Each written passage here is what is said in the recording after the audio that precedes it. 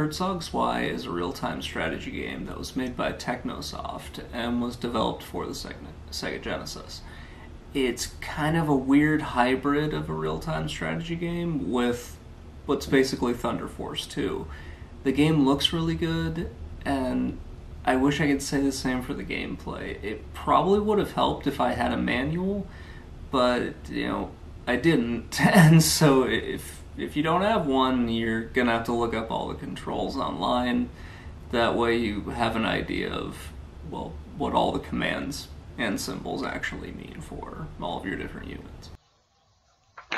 So there are a bunch of maps that you can choose from right off the bat in this game, which kind of feels a little bit weird. It sort of makes it a little odd just because there's no real story in this as far as I can tell. Maybe it's in the manual or something like that, but I, I just I just don't really know. It feels like Red Robot is angry at Blue Robot, so they start fighting each other in an endless war of absolute nonsense in a planet that's just the leftovers of every place that no one ever wanted to live.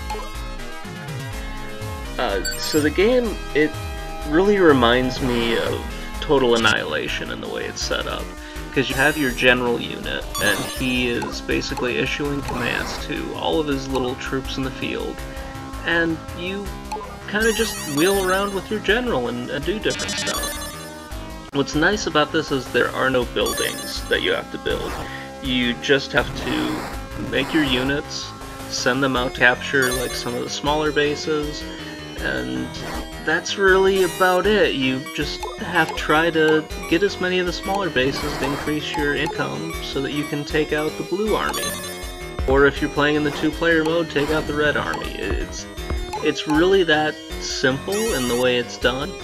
The major problem with it is, uh, I just really hated the controls for it. It, it was just absolutely insane. Uh, now your general operates both as a unit, unit and as um, the way that you deploy your soldiers in the field. Again, similar to how Total Annihilation works, where your general, or if you have another construction unit, they basically build the different the different buildings for you. In this one, you need to have your general to lead the soldiers into the field, and he has to issue them commands. This is where the game like really sort of falls apart a little bit for me. And that's because you can't, like, change the commands that you're issuing to these people. They're only given one command, and they go off and do that one thing. And it's just very weird for me that that happens, because what if I made a mistake and I want to change it? Do I just... I guess I just say screw it and try to, you know, do what I can with something else. Uh, now, eventually, I did figure this whole thing out. It was just really, really weird the way it was done. Um, I had to look it up online to figure all this stuff out, just because I was absolutely lost and just had no idea what the hell I was doing. But eventually, you know, you, you figure it out, do the best you can, and if you're like me, you just keep dying over and over again. One cool thing that I didn't mention was the different uh, ways that these maps are set up. I only played about five or six of them, but it's kind of cool how they do the different like layers in the map or different levels in it. So you have units who are just the dumbest freaking things in the entire world. They'll actually fall into like some of the caverns that are there, and they're just stuck. And you have to fly your ship in, pick them up, and set them back on the you know back on the regular level. Uh, it's yeah, it's like playing a game of Lemmings, but with stuff that's gonna shoot at you over and over again. It's kind of weird, uh, but you know you'll eventually figure it out if you keep playing.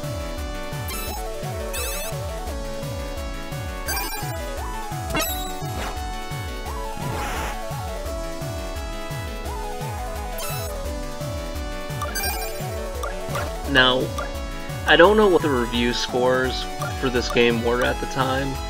I I, I just don't really know. if I had to go back and review it, I probably would have given it points just for being a unique title on the Genesis. But just the overall gameplay, I, I did not really like it that much. And that's mostly because I think I was trying to do a lot of exploratory stuff with it, just trying to figure out exactly what I need to do. And near the end, I kind of figured it out. So you see at like some of these smaller bases, you have to get four infantry men into it.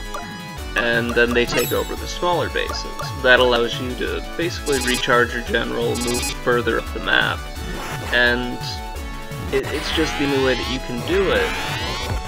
My major problem with it was, is it's just like, there's no tutorial like there was in Dune, there was no real like explanation as to what you're doing, and you're just kind of left on your own to figure this whole thing out. Now sometimes that's pretty good, sometimes that works out just great, but with a game like this, I was just so confused as to what I was supposed to be doing. And, you know, I, I eventually got it. The, the units, most of the time, tell you what they do, and yeah, other times you kind of have to guess if you don't really see it right away. Like the the motorcycles and like the heavy cars, or the armored cars I think they're called. I don't know why they're in the game. They don't need to be there. They don't really do anything. They don't like they don't really serve a purpose for me the tanks and the infantry and the Gatling guns, they definitely do, as well as the SAM sites, because they're able to, you know, take out your general when he's flying around in his little jet. But for the most part, some of these could probably just be omitted. Or maybe they could have made it so that the uh, motorcycles could also take over like minor bases. That kind of would have been cool, but unfortunately they didn't go that way. Find the manual for this game if you want to play it, or look up a walkthrough online so that you kind of have an idea of what the controls are.